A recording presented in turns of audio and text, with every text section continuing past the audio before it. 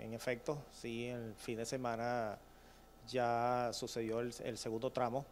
más corto, como realmente se, evidencia. Pero fíjate que ya, ya nosotros tuvimos la conversación que tuvimos con el Ministerio de, Transporte y Comunicaciones y en efecto, pues el Ministerio de Transporte y Comunicaciones se comprometió a solicitar los recursos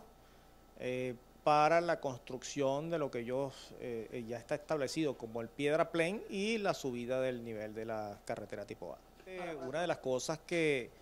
que se estableció por, por vía de, decreto inclusive fue la restricción total de la circulación pues, en la carretera.